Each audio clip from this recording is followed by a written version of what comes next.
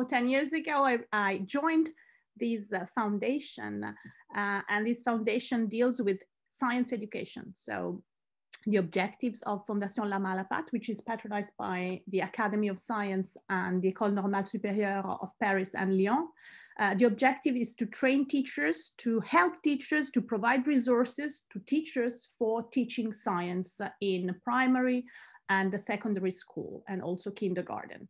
So uh, up to that moment when I arrived, uh, the main principles that were adopted at La Main à la Pâte involved how to make students active in their learning of science uh, in the class, but uh, we were lacking a view on what it means for, for students to be active in a more general sense, not just using their hands, and what science and cognitive science in particular, the cognitive science of learning, of memory, of attention, of, uh, um, of metacognition can bring in to enhance our capacity of teaching science? Why do certain students, all the students actually resist certain ideas such as evolution? Uh, why certain concepts in science are so difficult to acquire or to stabilize? And we go back to our previous conceptions. So one of my main objectives when I arrived at La Main à la Pâte was to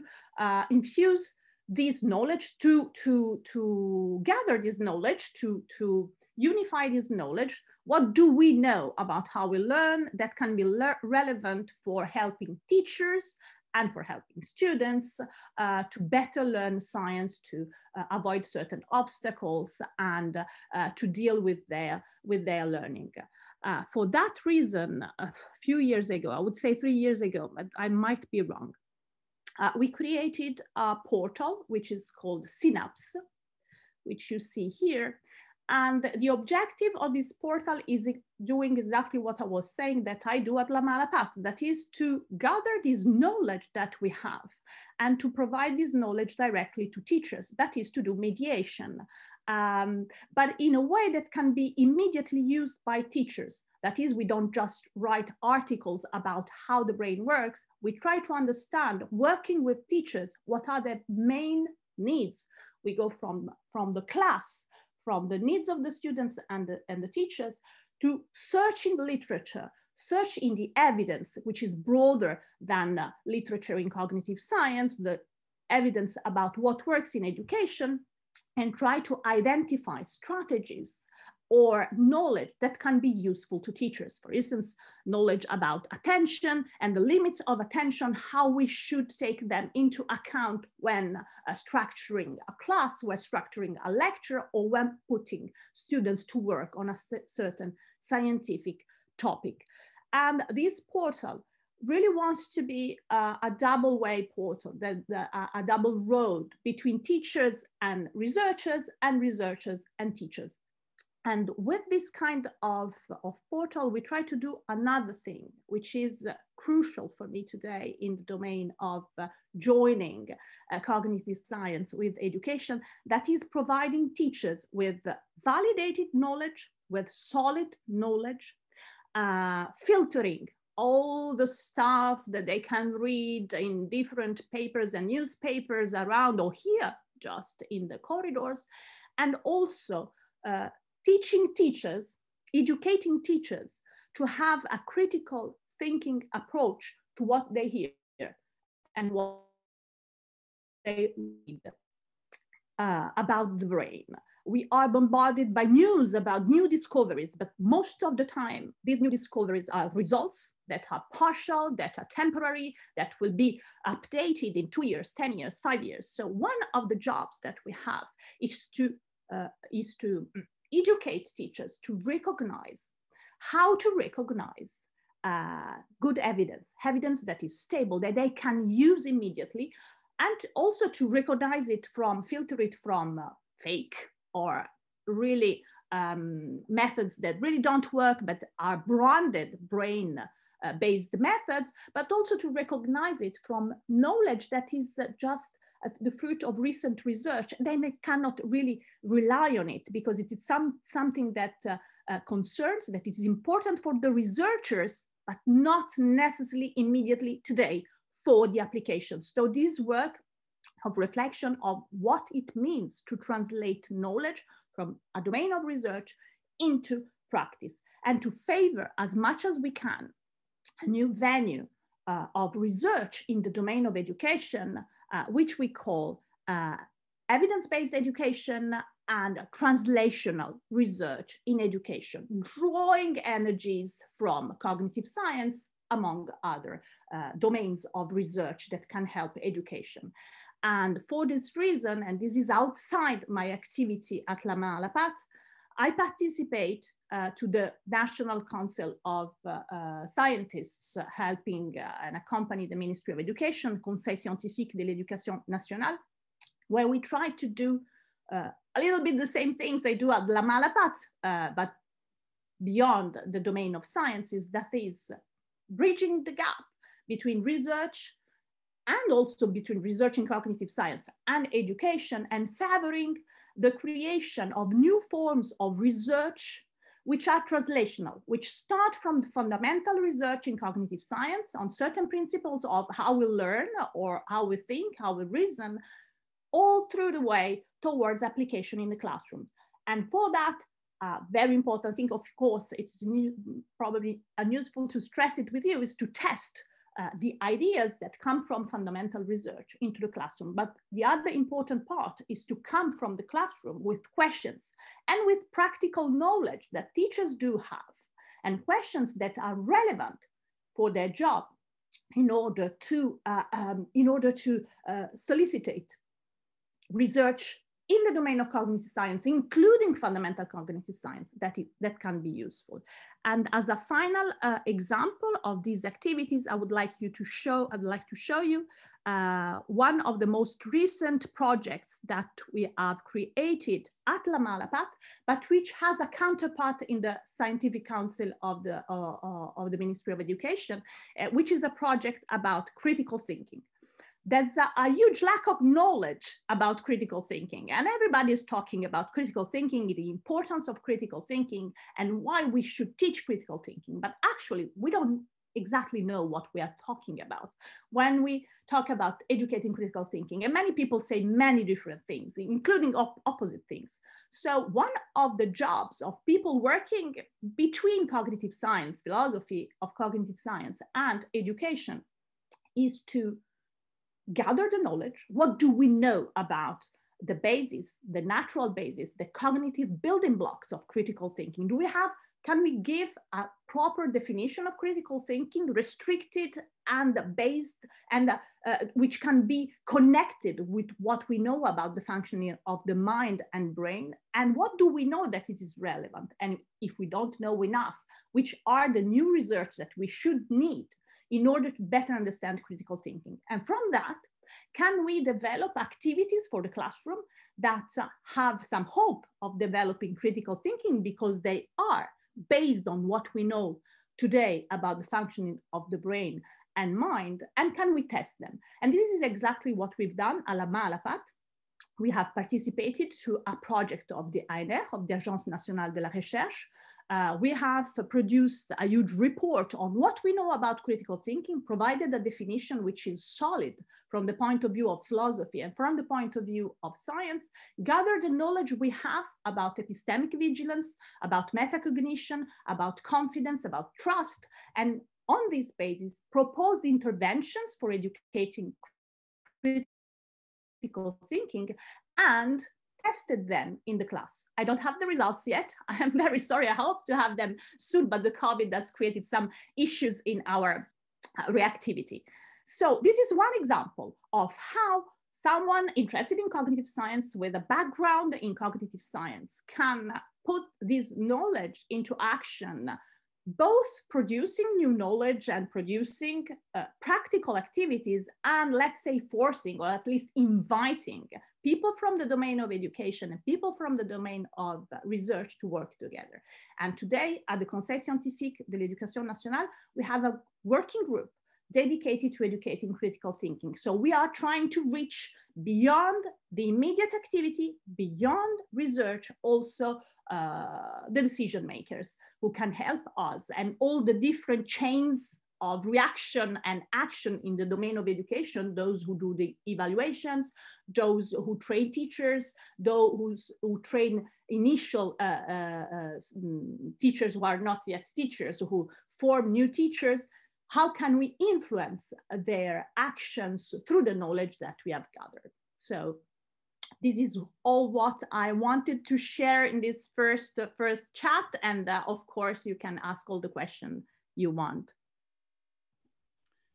Okay, thank you, Elena, for this very interesting and rich presentation. So as I said uh, um, at the beginning of the session, I think that we'll, we'll take questions uh, for Elena uh, at the end of the session after the three speakers um, uh, have intervened. So um, our second speaker is uh, Adeline André. So um, Adeline is a NIA IPR, academic inspector of the Academy of Versailles after a biology a PhD in biology, she became an SVT, so biology teacher, I guess, in junior high and high school. She then uh, joined the La Main La Pâte team, and she has many uh, years of experience uh, conducting the academic and national experiments of the learning labs, which use the, the contribution of cognitive science to promote learning in all disciplines. So Aline, um, I believe. Okay, can you hear me? That's, yes. Yes, okay. Uh, so hello everybody. Um, thank you for the invitation. I'm very pleased to be uh, with you this morning, contributing to the links between uh, cognitive science and education. So my name is uh, Adeline André. I'm an inspectrice de l'éducation nationale uh, for secondary schools uh, dans l'Académie de Versailles. And I started this job four years ago and since then, I've had two main missions. So the first one is to drive biology and earth science teaching. But the second one is to reinforce the use of cognitive sciences in secondary schools. So the question is how we go from principle to actions in learning environments. The objective of what I do is to promote evidence-based education, uh, to use cognitive science main results to change pedagogical practices in classrooms, and to implement tools and strategies for effective teaching and effective learning in classroom. So that's why we need cognitive science results and that's why we need you. Uh, the main topics on which we work are memorization, consolidation related to the testing effect, to the importance of interleaving or space practice, comprehension, attention, active engagement, error feedback, executive functions, metacognition, regulation of disruptive behaviors and I'm going to try to show you how we do so. Uh, but just um, first, I'd like to present you the result of an experiment that was conducted in science and history classes in France with 1,300 pupils. So during the first part of the year, teacher taught as they usually do. And during the second part of the year, um, they use some specific tools and strategies to support memorization and comprehension. And in uh, January and June, pupils' knowledge were assessed. So here you have got some information about the experiments, but I'm not going to go further. So here are the main results. So in January, the main final score was 43%. And and in June it was 61%. And in this graph, um, the results are divided according to the score values in January. So you can compare scores between June and January, and we can see two things.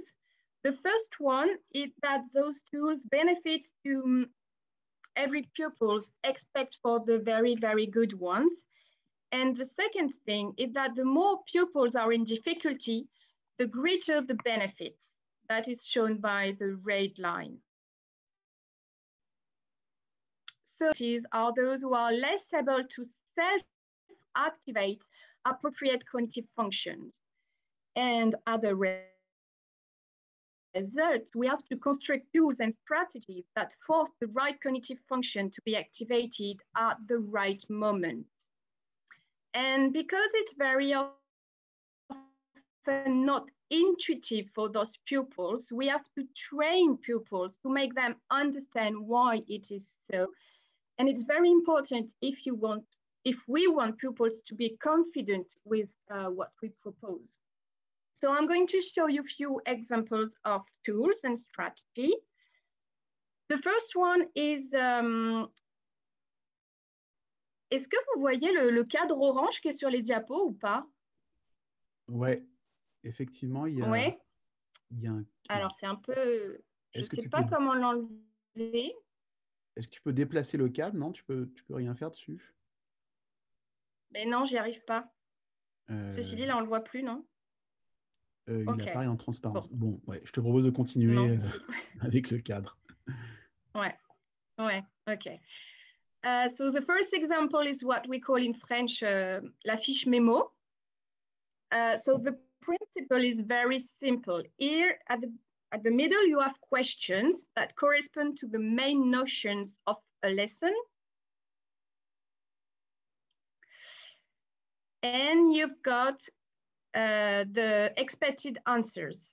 And there is at the beginning a tracking table where the pupil indicates whether or not he or she answered correctly, indicates that uh, questions should be asked several times. And the further to the right you go, the further no the number of nights between uh, questions and when revising, a pupil can start with the less master questions. So you see that this tool is quite simple, but if you want to use it properly, you have to be trained about that. And this tool uses testing effects, space practice. It gives information about, about mistakes. It contributes to metacognition and regulation for better learning. And on this picture, you can see two pupils that are using a fiche mémo to review a French lesson. So they ask questions to each other and they use the expected answer to correct themselves. So here is another example.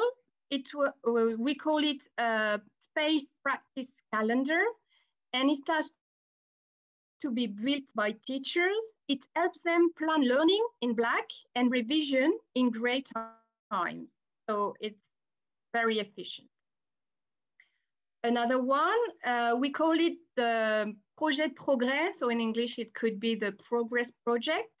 So at the top, you have um, um, explanation about what is expected by the teacher and what kind of production uh, pupils can make. So after work, pupils self-evaluate themselves so you can see the little numbers. And each time they can formulate ways to improve their work for next time. The advantage is that for one skill, you have all the advice in one place. So it is a metacognitive and regulatory tool that guide progress and make them very visible and it is very efficient. Um, we try to make our work available for all the teachers. So for example, last year during the lockdown, we produced this uh, generally. You have the link if you're interested. We wanted to help teachers in their choice for efficient cognitive solutions uh, to help pupils learn while schools were closed. So for each category, mémoriser, comprendre, planifier, etc., um, we presented pedagogical ways to improve learning, real tools, testimonies from teachers that are trying to do so, and resources to learn more about um, if we want our approach based on cognitive science to be real and effective for pupils, we need to train teachers, and to do so, we need to have trainers. So our concrete actions in uh, l'Académie de Versailles um, are to produce resources and to organize training sessions for trainers for teachers, school teams, and uh, for pupils. And there is another one action which is called the Learning Lab Network, and I'm going to talk about that now. So in a previous life, I was full-time at La Main à la and I was very happy to work with Elena. And um, what I learned there is the, the importance of making people work together in network with shared values. So three years ago, I created a network of secondary schools that are using cognitive science main results about learning. At the beginning, there were three schools and now it's around 30 of them.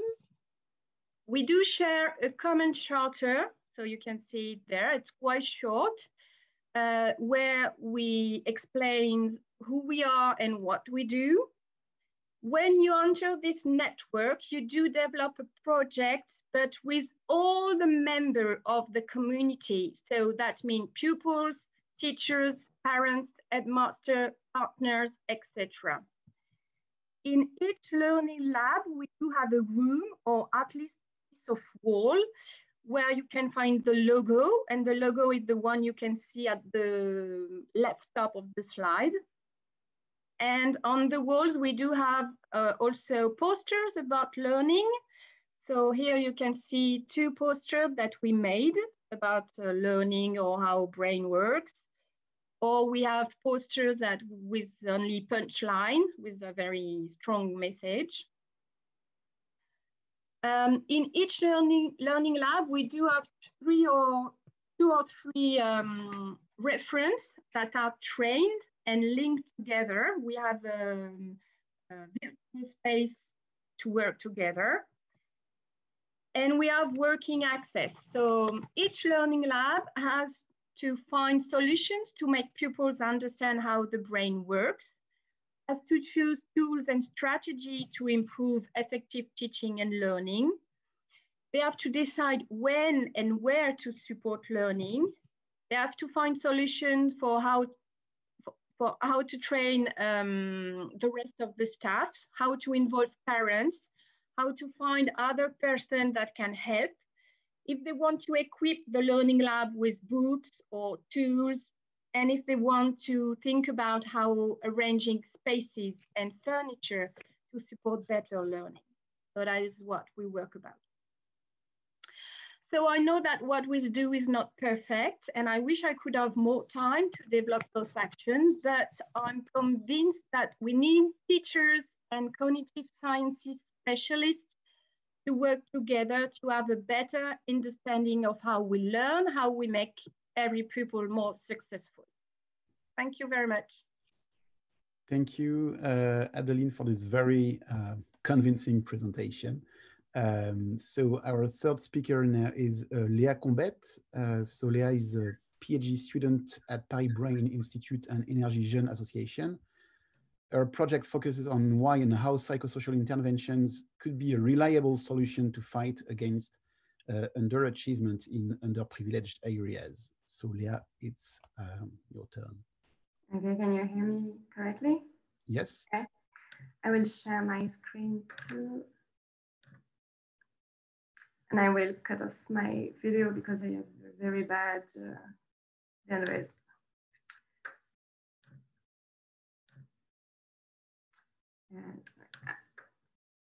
Okay, so thank you for inviting me. Uh, as Valerian said before, uh, my name is Léa Combette and I'm a PhD student between the Paris Brain Institute and the Association Jeune. Uh, you have my email address at the bottom of the slide, so if you have any question after the meeting, feel free to contact me. Just to have an overview of this short presentation, I will briefly talk about my background and my current project before to spend a little bit more time on two questions, which are, in my opinion, quite important in applied sciences. The first one is why are cognitive sciences important in my work? And the second one is why are cognitive sciences not enough? So in a nutshell, I started with a bachelor in psychology then I wanted to dig deeper into the understanding of cognition. So I decided to study cognitive sciences and I obtained my master degree three and a half years ago. Then I started to work as a pedagogical coordinator at a scientific uh, preparatory school. And at the same time, I passed a postgraduate diploma in scientific mediation through evening classes. And at this time, I started missing a lot the research field. So I decided to start as an independent trainer in cognitive sciences applied to education. And at the same time, I started to contact researchers to develop a PhD project. And I discovered the association Energie Jeunes, which was looking for a PhD student to help them to improve their intervention. So there I am. I started to work with them two years ago as a scientific officer, and that led me to start my PhD with the Paris Brain Institute one year ago. I also wanted to mention some voluntary work, which has been very instructive for me. Among other, I have been a volunteer at Cognivance, Talence, and Coginov. And finally, I also created a podcast channel about cognitive science applied to education, which is called Papier Crayon. As I said before, my PhD is a collaboration between the Paris Brain Institute and Energie Jeunes. Just a few words about Energie Jeunes. This association delivers what is called mindset interventions and provides students with tools to achieve scholar goals. And their interventions are based on the scientific literature and they are delivered to middle school students from underprivileged areas. In this association, the main goal of my thesis is to understand how those short interventions could be improved. And I go back, uh, and I can't go back, go back on that later if you have questions. But I thought that it would be more interesting for you if we focus on one specific project I worked on, and which, which is directly related to the two questions I asked earlier. And the first question was why cognitive sciences are important for an educational association. In my opinion, the first element is that without science, your work could be influenced by biases and neuromyths. And if that's the case, you are wasting a lot of money and a lot of time. Let's take an example. In one of our intervention, we ask students to determine a scholar goal they want to achieve until next session. And to achieve it, a really popular method is positive thinking. I have heard so many times that positive thinking is really efficient to achieve your goals, but if you take a look at the literature, that's not true. Positive thinking could even have a negative impact. Why? Because if you only focus on positive outcomes, you will lose the motivation as soon as you encounter an obstacle. However, a method which is really efficient is to follow four steps. The first one is think about what you want, what is your wish. The second one is thinking about why you want it, what will be the outcome of this wish. The third one is think about the main obstacle you could encounter. And finally, you can make a plan to overcome this obstacle. This method is called the WOOP and it has been developed by the researchers Gabriel Oettingen, and the results are way more convincing. But to know that, you have to go through the literature. A second element is interdisciplinar interdisciplinarity, because with a scientific approach, asking how to improve mindset intervention is also asking many other questions, like which beliefs are important for scholar achievements, how can we change those beliefs, what are the underlying mechanisms, or even how humans make decisions. And you are referring to disciplines like social and cognitive psychology, neurosciences, or behavioral economy. Of course, no one is a master on all those fields, but knowing how to read a scientific paper could be really helpful if you want to have a scientific approach to your question. So cognitive sciences are important to design efficient educational interventions, but in my opinion, they are not enough. And the explanation is quite simple. As I said before, you really need science to know if your intervention makes sense. But before that, you really have to be sure that your intervention is not answering a question that nobody asked. Because if schools are not interested by your intervention, you just can't use it. And if schools are interested, but students do not pay any attention during your intervention, it will certainly be absolutely useless. And finally, if your intervention is efficient, is popular among teachers and students, but let's say is really expensive, it will be quite complicated to deliver it to many students. That's why you really have to take into account all those questions. Now, let's go back on my previous example, the WOOP. In the literature, the WOOP is really efficient, even with young students. But when we developed it in France, we realized that, that French middle school students really struggle to understand the link between the four steps. For example, some students can say that the obstacle is chit-chatting during classes, but then their plan was to go earlier to bed, which is totally unrelated to the obstacle.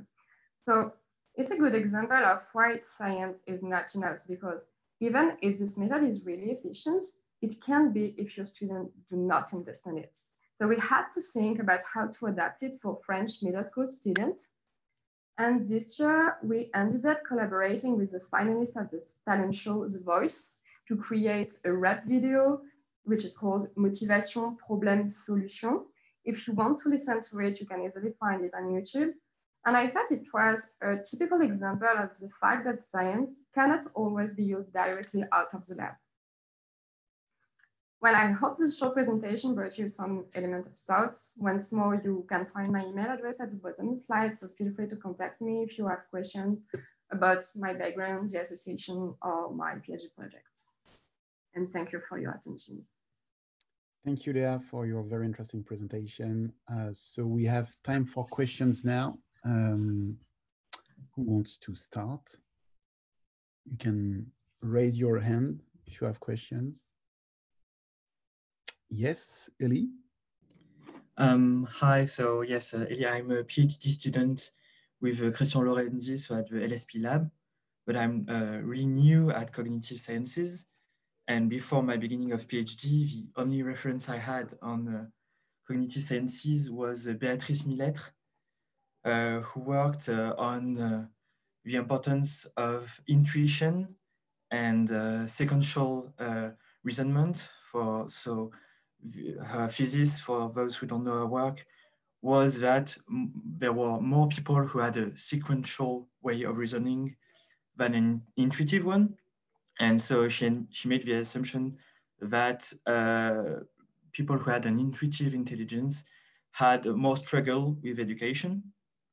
And so I was wondering like if there was, that was something that you would take into account in making more adaptive uh, cognitive methodology uh, for students? So who, who wants to, to answer? Elena, Adeline, or Léa? Adeline, yes. Um, I don't know uh, the work you're talking about, um, but what is really important for us is to make pupils explain what they have uh, in mind, what we call um, model mental, mm-hmm. and then um, bringing to people some information, some experiments, some something in classroom, and then make every pupil uh, take time for the comparison between where they are now after the, the lessons, uh, comparing to where they were at the beginning, and there is and that's the gap between the two positions that is very important because that is this gap that is making learning efficient. So um, I don't know if there are very, very different intelligence, but the, the, the way we do it um, allowed everyone starting from different points and making sure that everybody is going to the same final point. So yes, maybe Ellie's question is raising another interesting uh, uh, question as to whether uh, education, uh, sorry, evidence-based education tools should, you know, speak directly to system one or system two in in school uh, in uh, in students in level.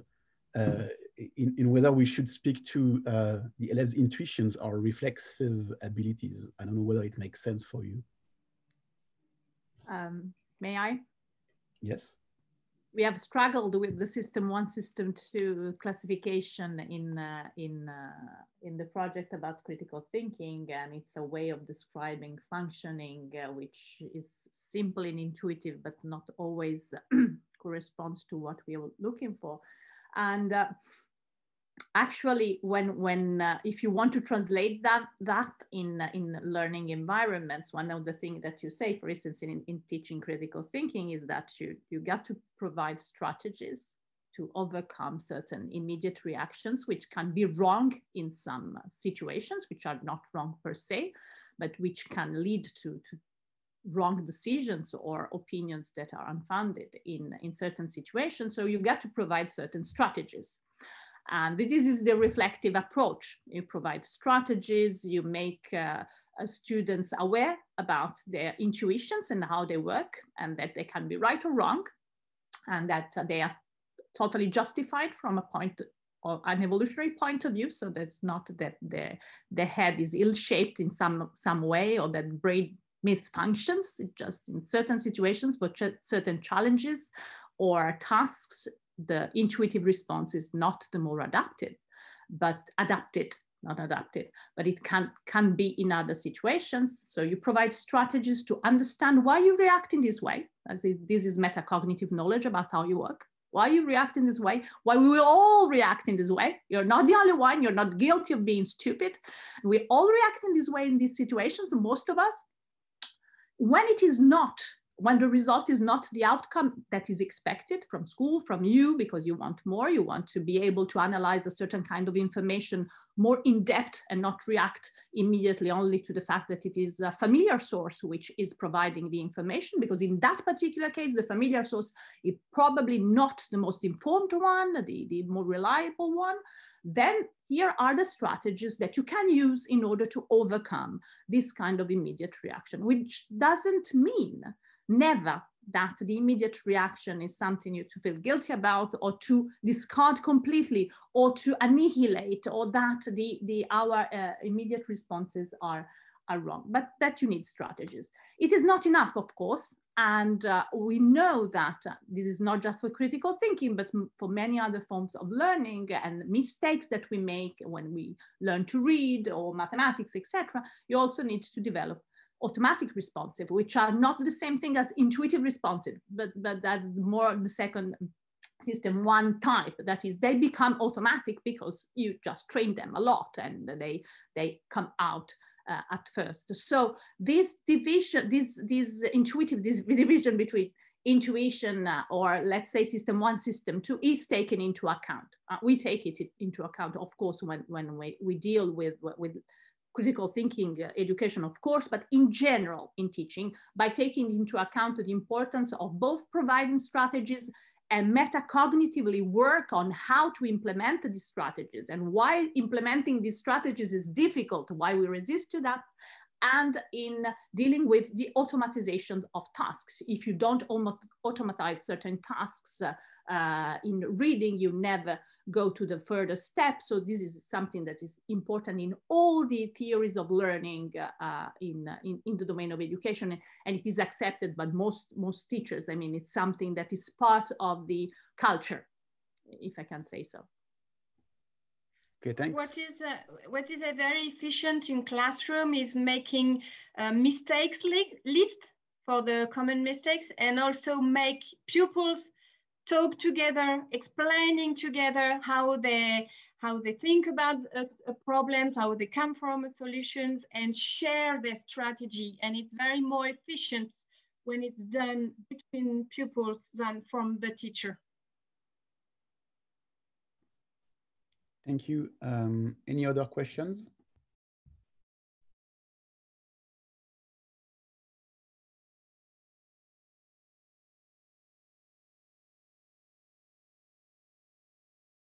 Okay, don't be shy. Um, okay, so maybe uh, I have a very naive and practical question. Uh, maybe it's a question uh, for Adeline. So how much flexibility do teachers have to implement or test so these evidence-based education or teaching tools?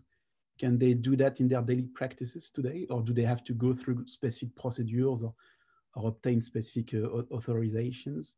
No, no, it's very easy. We have what we call um, liberté pédagogique. I don't know, okay. freedom in, in pedagogical choice. Freedom. Uh, and um, so, no, it's very easy to change uh, practical uh, pedagogical practice in classroom because teacher can do whatever he wants or she wants in the class. Um, but we struggle with the very French issue about uh, doing all the um, curricula. It's more that in France we have quite heavy and dense curriculum and teachers are very stressed about that. So they really want to be efficient, to work a lot and be sure they are going to see all the notions they have to see. And when we come with new pedagogical um, strategies, it's difficult for them because you need time in class to train pupils, to make them understand why you do um, propose that, and to make them, to make pupils be confident and uh, with the tools. And it, it, you need time to do that. So sometimes we have troubles with teachers because they say, I would like to do it, but I can't because I don't have enough time. So we have to convince them that because they are going to use those tools, the learning are going to be more efficient and they're going to, to have more time after that to work on whatever they want. Mm. So, okay. But yes, it's possible. And so it's very important when we, we work with, it's very important to work with teams because when you have several teachers that are involved in the same project, they can support each other. And it's very important for us to go in the school very often so we can be with them, ask to their questions, uh, listen to their problems, very concrete problems, and be very supportive. And it's very, very important. And we and I I miss time to, to do that. Okay, and the liberté pédagogique you mentioned, how much time does that represent for a teacher? How much well, liberté pédagogique do they have? In fact, liberté pédagogique means that uh, in the French curriculum, you have notions, and at the end of the year, pupils have to know that, that you do as you want. Okay, okay. It's, it's not a specific period of time that is no, no, no. It's doing every hour you're going to do your own choice. And so when we train teachers, one thing which is very important for us is to make them understand what is a learning brain so when they do their choice, their pedagogical, pedagogical choice, they can ask themselves, when I do that, what, um, what are doing the brain of my students? Mm. And so it's a way by which they can choose from one strategy to another. Okay. Okay, thanks. Other questions? So you can either raise your hand or um, switch your uh, camera on. Um, maybe just a, a, question for Léa. So you, you, mentioned the Energy program, and you said that the Energy program uh, uh, is is something like an intervention. So you're not just me measuring association or correlation; you're really intervening uh, uh to change uh, the the LF's mindset. So can can you elaborate a, a bit more uh, on this uh, intervention? Yeah, we have three interventions per grade. So we go for grade sixth grade to uh, uh, ninth grade, and we have three interventions for middle school students. We try to change mindset because we know that having a growth mindset, that means thinking that your intelligence can grow, uh, leads to better scholar achievement. And we can change this mindset from fixed to growth mindset. So we help students to have a growth mindset and we provide them some tools like the WOOP to help them because once they think that they can improve, they have to know how they can improve. So we are providing them some tools to do that. Okay, thanks. Uh, Maria, you have a question? No, uh, sorry, you, you just you switched your camera on. I thought it was because you had a question to to to ask. Okay, thanks. Um, we have time for one or two more questions. Um, it's now or never. Yeah, I, I might have one question for Adeline. Yes, um, uh, in the same vein as your question, um, I was just wondering um, to which extent do you think that uh, in the future um, your uh, way, the way you are working with teachers uh, in your academy is going to spread among other academies? Um, yeah, I was just uh, interested in your feedbacks about maybe the experience you had with um, your colleagues and uh, because of course for us uh, we think that uh, every academy should work this way and have a learning lab and so on. But i don't know uh, what are the do you have any objection from your colleagues and what are they uh, what are they yes something like that um, I think that there is a really big misunderstanding about what is uh, cognitive sciences of learning. And um, sometimes when you say, oh, I use um, uh, cognitive science results to think about what we could do in class, you have a reaction like, wow, no, but human is not science and you can't um, apply uh, scientific results in a classroom because classroom is too far complicated. You have so many uh, different things going on. Um, so um, we can have those kind of, uh, of answer. And three years ago, when I, well, four years ago, when I started the project, I invited all my inspectors colleagues to a meeting to present the purpose of the project. And you have to know that we are uh, about 90 doing the same job as me. And at the first meeting, we were three. So one year after that, I, I proposed another one meeting and we were two. but last year, I just proposed another one and we were 35.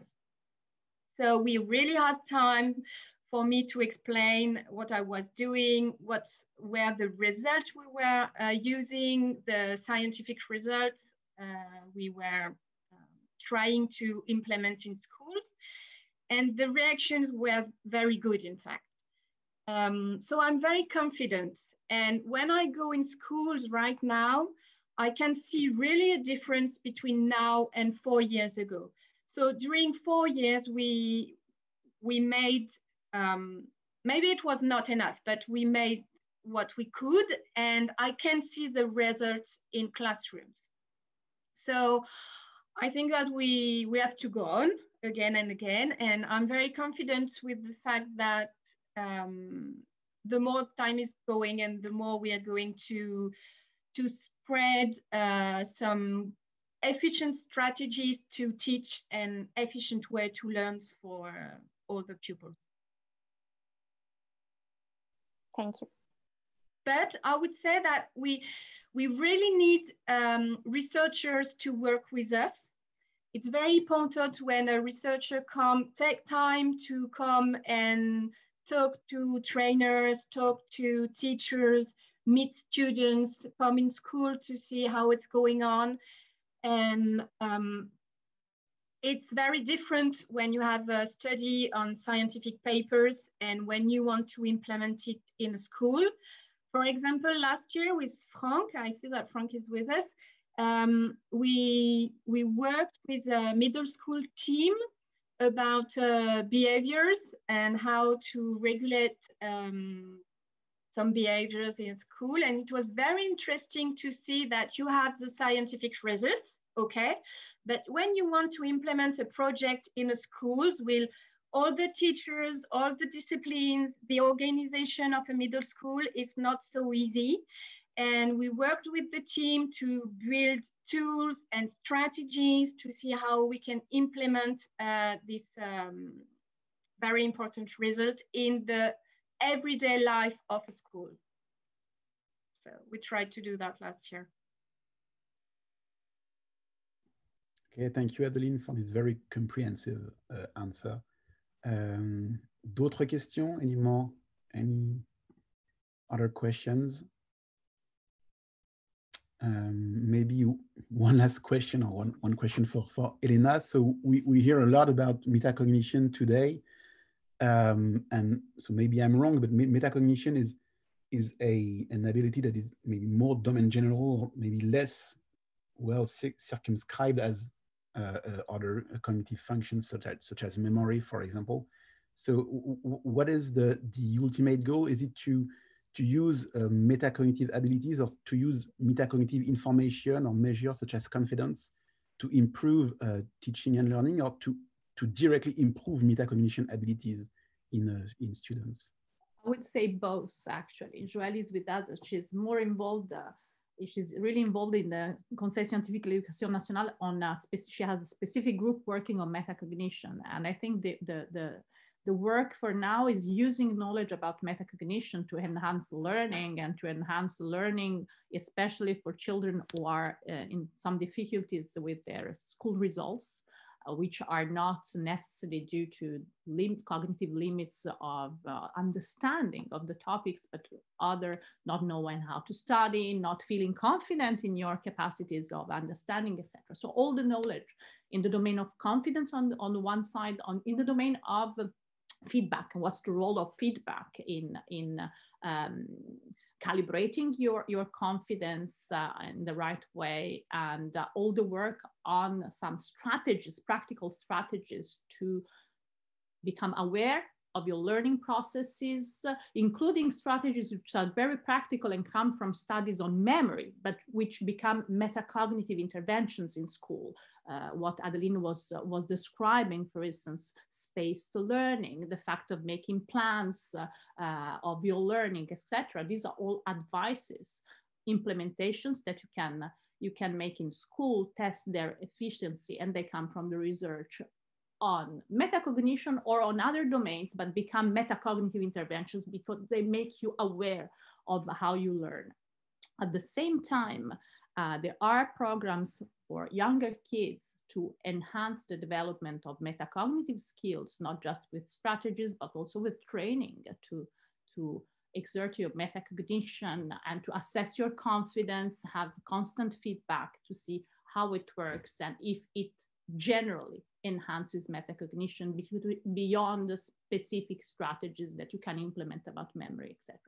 So if you if you have uh, these capacities of using your metacognition spontaneously uh, in different situations. So I would say that it's very, very large and uh, there's not one single approach to metacognition. It's true that it is a, a little bit trendy uh, at this moment, but I think it, it's, it's just because lots of research has been done in the last years and we see it all the time.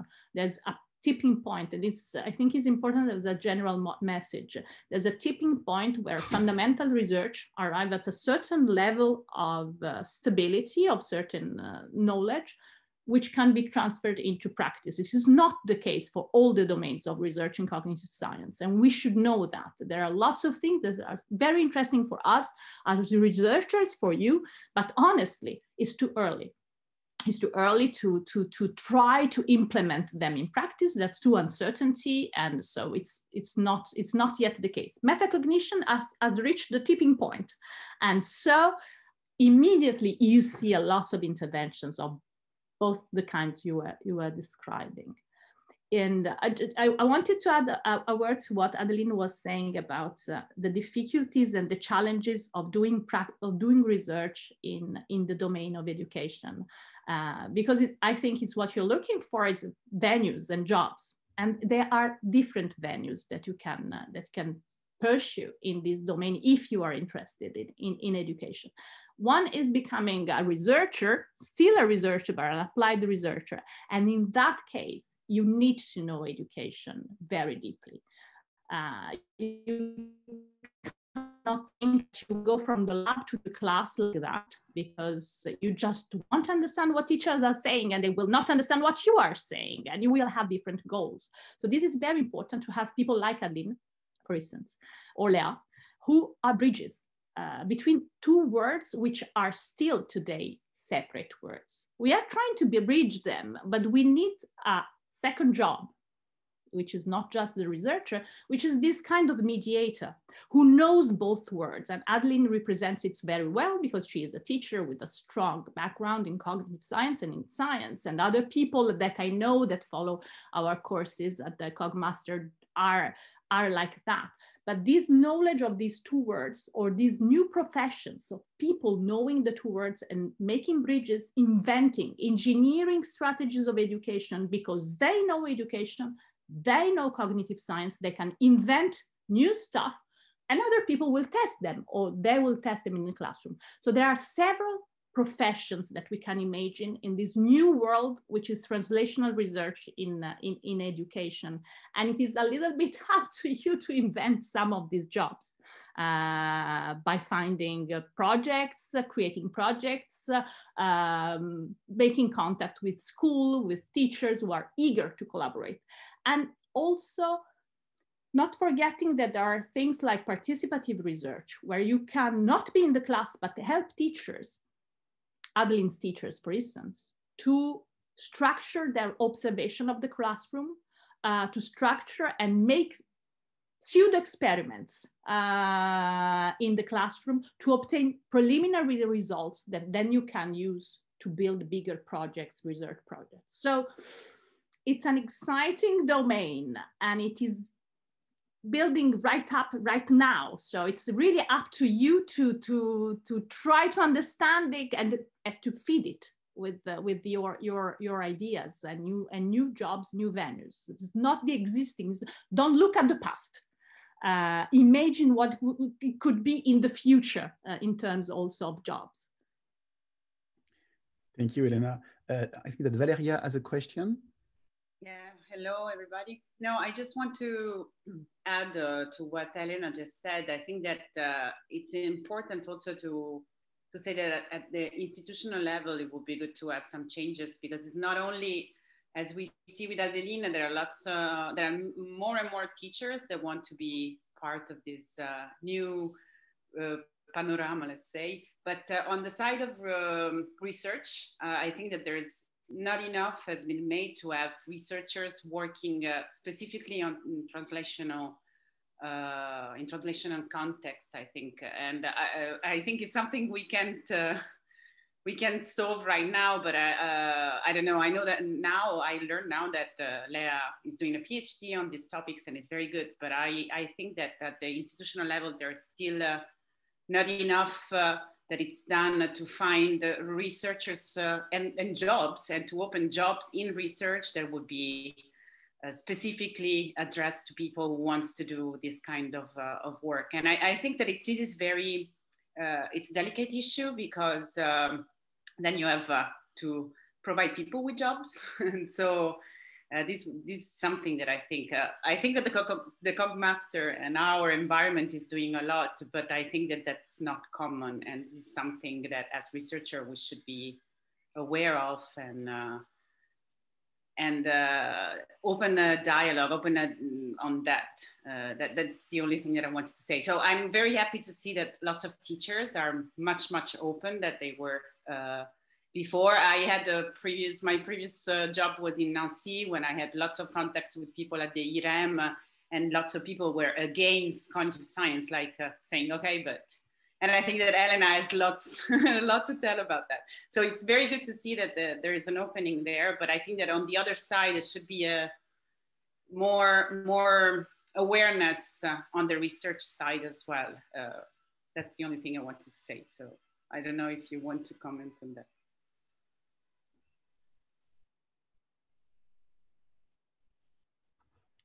Thank you, Valeria. Uh, maybe one final question. No. Uh, actually, I have a question, uh, just just very curious question if the maybe the Fondation Main à la Pâte or maybe the Academy de Versailles or Energie Jeunes has a program um, um, that aims to educate like um, students to climate change issues and environmental issue. If there's something specific about that, just curious. Uh, for La Main à la Pâte, yes, there is. It's called, uh, it's a branch of La Main à la Pâte, a new branch of La Main à la Pâte. It's called Office for Climate Education, OCE. And uh, they're doing exactly that. They're, they, are, they are connected with the IPCC, the Group on Climate Change, uh, intergovernment, intergovernmental group on climate change. And uh, in, uh, in relationship with them, they produce uh, pedagogical activities for children and training activities for teachers related to the last reports of the IPCC in order to make them understandable and uh, to have students take them into their own hands, let's say, somehow, understand the science behind. And they're, of course, very interested in collaborating with students of the Cog Master in Cognitive Science because there's the double issue of making students understand concepts which are complex uh, and, uh, uh, and to take action which is a completely different, different uh, stuff than understanding. Uh, from understanding doesn't come action. So how do you also uh, enhance action in this domain? So they're interested in the two things and they are uh, juicieux. Uh, and if someone of you wants their contact, they can write it immediately in the chat. Or you write to me, huh? it's, it's, it's not a problem.